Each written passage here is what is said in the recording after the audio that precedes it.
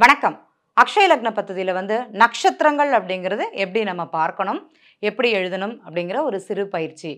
நம்ம எவ்வளோ எளிமையாக நட்சத்திரங்களை படிக்கலாம் அப்படிங்கிறது தான் நம்ம இப்போ பார்க்க போகிறோம் பொதுவாக நட்சத்திரங்கள் அப்படிங்கிறது இருபத்தி ஏழு கரெக்டுங்களா? இருபத்தேழு நட்சத்திரங்கள். ஒரு நட்சத்திரத்துக்கு நாலு பாதங்கள்.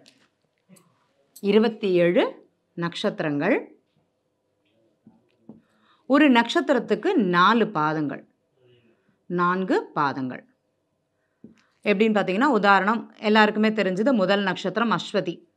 அஸ்வதி நட்சத்திரம் அப்படின்னா அஸ்வதி நட்சத்திரம் ஒன்று இரண்டு மூன்று நான்கு. ஒரு நட்சத்திரத்துக்கு நாலு பாதங்கள்.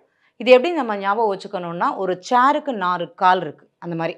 ஒரு நட்சத்திரத்துக்கு நாலு பாதங்கள் அப்படிங்கிறத ஞாபகம் வச்சுக்கோங்க. நாலு கால் கொண்ட நட்சத்திரம் அப்படிங்கிறது தான் முழுமையான ஒரு நட்சத்திரம். சரிங்களா? இப்போ அஸ்வதி நட்சத்திரம் ஒன்று இரண்டு மூன்று நான்கு. பொதுவான நட்சத்திரங்கள் அப்படிங்கிறது இருபத்தி நாலு ஒரு நட்சத்திரத்துக்கு. ஒரு நட்சத்திரத்துக்கு நான்கு பாதங்கள் நான்கு பாதங்கள். இப்போ இருபத்தி ஏழு இன்ட்டு நாலு போட்டிங்கன்னா நூற்றி எட்டு நட்சத்திர பாதங்கள் நூற்றி எட்டு நட்சத்திர பாதங்கள். நம்ம இது எப்படி ஞாபகம் வச்சுக்க போகிறோம் நம்மளால் வச்சுக்க முடியுமா? அப்படிங்கிற ஒரு கேள்வி யாருக்குமே வரக்கூடாது. கண்டிப்பாக என்னாலையும் என் நட்சத்திரத்தையும் ராசி கட்டத்தில் உள்ள எல்லா நட்சத்திரங்களையும் மிக எளிமையாக நம்மளால் கற்றுக்க முடியும். பறக்கலாமா எப்படி அப்படின்ட்டு? வாங்க. இப்போ மேஷ ராசி இது நமக்கு தெரியும். கரெக்ட்டுங்களா? மேஷம் இதோட அதிபதி செவ்வாய் அப்படிங்கிறது நீங்கள் நல்லா படிச்சிருப்பீங்க. உங்கள் மனதிலையும் நன்றாக நிற்கும் அப்படிங்கிறது நான் நம்புகிறேன் இப்போ மேஷ ராசியில் இங்கே அஸ்வதி நட்சத்திரம். அஸ்வதி நட்சத்திரம். ஒன்று ரெண்டு மூணு நாலு. நாலு பாதங்கள் மேஷராசியில் வந்துடும் அடுத்தது பரணி. பரணி நட்சத்திரம். மேஷராசியில் அஸ்வதி நட்சத்திரம் நான்கு பாதங்கள் பரணி நட்சத்திரம் நான்கு பாதங்கள். அதுக்கப்புறமாட்டி கார்த்திகை நட்சத்திரம். கார்த்திகை நட்சத்திரம். இதை நம்ம கிருத்திகை அப்படிங்கிறதும் சொல்லுவாங்க. கார்த்திகை நட்சத்திரம் ஒரு பாதம் மட்டும்தான் வரும். ஏன்னா ஒரு ராசி கட்டத்தில் ஒரு ராசி கட்டத்தில் இது நான் மேஷம் மட்டுமே போட்டிருக்கேன். ஒன்பது நட்சத்திர பாதங்கள் மட்டுமே வரும். ஒரு ராசி கட்டத்தில் ஒன்பது நட்சத்திர பாதம். இங்கே அஸ்வதி நட்சத்திரம் நான்கு பாதம் பரணி நட்சத்திரம் நான்கு பாதம் கார்த்திகை நட்சத்திரம் ஒரு பாதம் மொத்தம் ஒன்பது பாதம். அப்போது நமக்கு முழுமையான ராசி கட்டம் அப்படிங்கிறது பன்னெண்டு ராசி கட்டங்கள். அப்போ ஒன்பது இன்ட்டு பன்னிரெண்டு நூற்றி எட்டு. இப்போ நம்ம முதல்ல நம்ம பார்த்தோம் இருபத்தேழு நட்சத்திரங்களுக்கு நூற்றி எட்டு இருபத்தேழு இன்ட்டு நாலு நூற்றி எட்டு நட்சத்திர பாதங்கள். அப்போ இந்த நூற்றி எட்டு நட்சத்திர பாதங்களையும் இதில் முழுமையாக நம்ம வந்து ஃபில் பண்ணணும். கரெக்ட்டுங்களா அப்போது அஸ்வதி இங்கே நான்கு பாதங்கள் பரணி இங்கே நான்கு பாதங்கள் கார்த்திகை நட்சத்திரம் இங்கே ஒரு பாதம் அப்படிங்கிற மாதிரி இருக்குது. அடுத்தது ரிஷபராசி. ரிஷபம். நம்ம படிச்சிருப்போம். ரிஷபராசியில் கார்த்திகை நட்சத்திரம் ரெண்டு மூன்று நான்கு பாதங்கள். அதுக்கு அடுத்தது என்ன பார்த்தீங்கன்னா ரோகிணி நட்சத்திரம். ரோகிணி நட்சத்திரம் ஒன்று இரண்டு மூன்று நான்கு. அதுக்கு அடுத்தது பார்த்தீங்கன்னா மிருகசீரண நட்சத்திரம். மிருகசீஷ நட்சத்திரம் ஒன்று இரண்டு. இப்போ பார்த்தீங்கன்னா நம்ம ஒரு சின்ன ஒரு மேக்ஸு ரெடில்ஸ் மாதிரி. இங்கே நாலு இங்கே நாலு இங்கே ஒன்று ஒன்று ஒன்பது போச்சு. அடுத்தது பார்த்தீங்கன்னா இங்கே ஒன்றில் முடிஞ்சுதா? இங்கே ரெண்டில் ஆரம்பிக்குது. கார்த்திகை நட்சத்திரம் ரெண்டு மூணு நாலு. ரோகிணி நட்சத்திரம் ஒன்று இரண்டு மூன்று நான்கு.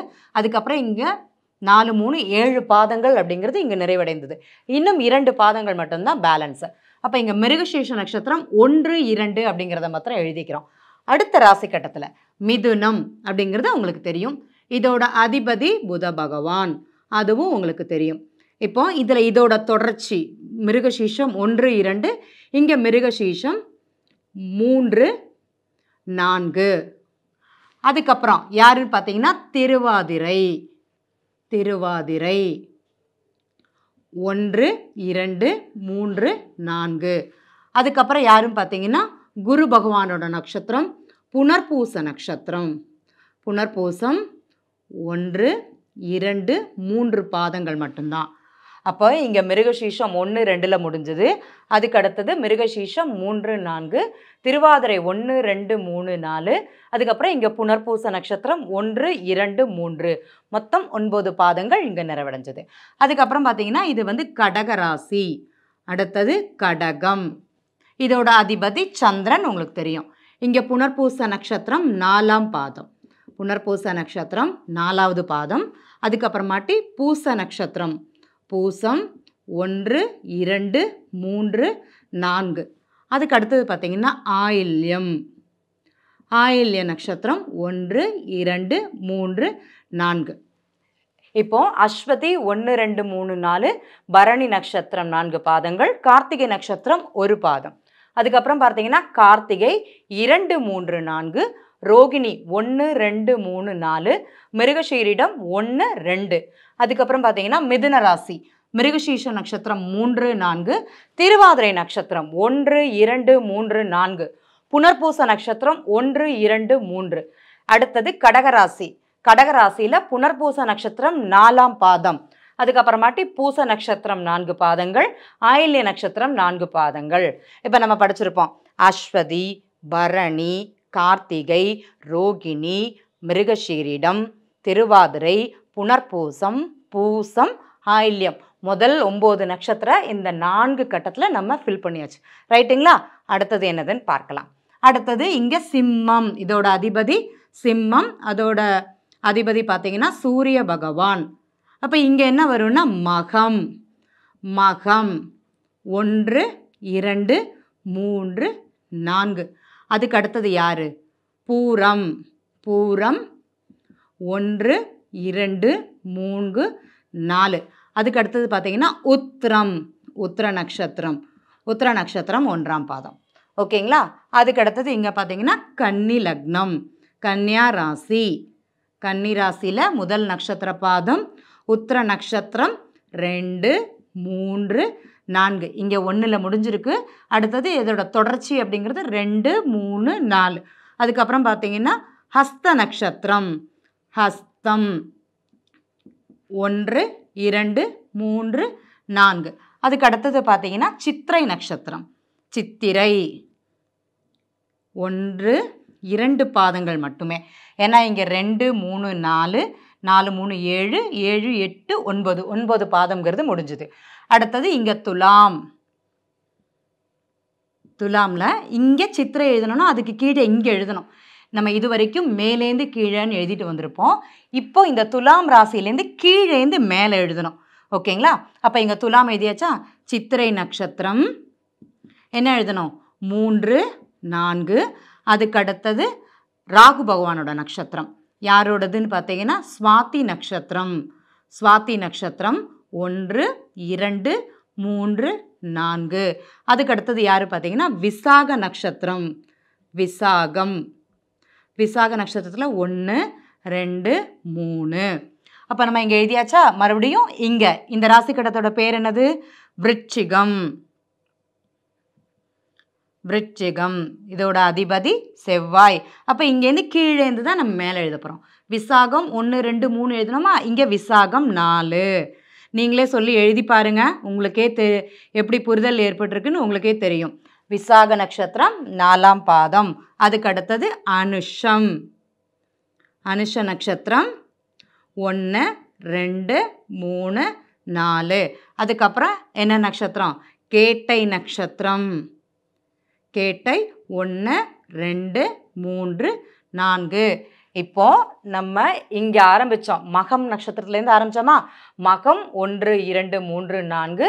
மகம் பூரம் உத்திரம் ஹஸ்தம் சித்திரை சித்திரை சுவாதி விசாகம் அனுஷம் கேட்டை ஒன்பது நட்சத்திரங்கள் மறுபடியும் நம்ம ஃபில் பண்ணிட்டோம். முதல்ல ஒன்பது நட்சத்திரங்களை இங்கே எழுதணும். ரெண்டாவது ஒன்பது நட்சத்திரங்களை இங்கே எழுதணும். பதினெட்டு நட்சத்திரங்கள் நம்ம எழுதி முடிச்சாச்சு. எவ்வளோ ஈஸியாக எழுதலான்னு பாருங்கள் நம்ம மைண்டில் அப்படியே வந்து நின்றோம். அடுத்தது பார்க்கலாம். அடுத்தது இங்கே வந்து தனுசு தனுர் வீடு தனுசு. இங்கே முதல் நட்சத்திரம். நம்ம இங்கேருந்து கீழேந்து தான் எழுதிட்டு போயிருக்கோம். எகெயின் இங்கேருந்து கீழேந்து தான் மேலே எழுதணும். சரிங்களா? இப்போ இங்கே கேட்டை நட்சத்திரத்தோடு நம்ம முடிச்சிருக்கோம். இங்கே வந்து மூல நட்சத்திரம். மூலம். ஒன்று ரெண்டு மூன்று நான்கு. அதுக்கு அடுத்தது என்ன பார்த்தோம்? பூராடம். பூராடம் நட்சத்திரம். ஒன்று இரண்டு மூன்று நான்கு. அதுக்கு அடுத்தது உத்திராடம். உத்திராடம். உத்ராட நட்சத்திரம் ஒரு பாதம். ஏன்னா நாலு நாலு எட்டு ஒன்று ஒன்பது. ஒரு ராசி கட்டத்தில் ஒன்பது நட்சத்திர பாதம். அதனால் ஈஸியாக நம்மளால் கனெக்ட் பண்ணி நம்ம மைண்ட்லேயும் செட் பண்ணிக்க முடியும். ஓகேங்களா இங்கே மூலம் பூராடம் உத்திராடம். அதுக்கு அடுத்தது இது இன்னும் ஈஸியாக இருக்கும். ஏன்னா இங்கே முடிந்து அடுத்தது உடனே இங்கே ஆரம்பிக்கும். உத்ராட நட்சத்திரம் உத்ராட நட்சத்திரம். இங்கே ஒன்று முடிஞ்சிருக்கா? அப்படின்னா இங்கே ரெண்டு மூன்று நான்கு. அப்புறமாட்டி இங்கே திருவோண நட்சத்திரம். திருவோணம். ஒன்று இரண்டு மூன்று நான்கு. அதுக்கப்புறமாட்டி இங்கே அவிட்ட நட்சத்திரம். அவிட்டம் ஒன்று இரண்டு. இங்கே தனுசில் எழுதியாச்சு இது மகர ராசியில் நம்ம எழுதியாச்சு. அடுத்தது கும்பம். இங்கே அவிட்டம் ஒன்று ரெண்டு எழுதியிருக்கு அடுத்தது தொடர். அவிட்டம் மூன்று நான்கு. அவிட்டம் மூன்றாவது பாதம் நான்காவது பாதம். அதுக்கு அடுத்தது என்னது? சதய நட்சத்திரம் சதய நட்சத்திரம் ஒன்று இரண்டு மூன்று நான்கு.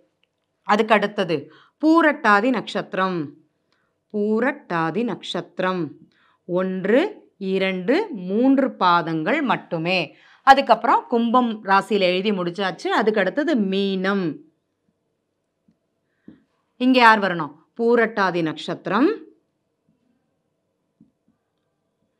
நாலாவது பாதம். பூரட்டாதி நாலாவது பாதம். அதுக்கு அடுத்தது உத்திரட்டாதி. உத்திரட்டாதி ஒன்று இரண்டு மூன்று நான்கு. அதுக்கு அடுத்தது ரேவதி நட்சத்திரம்.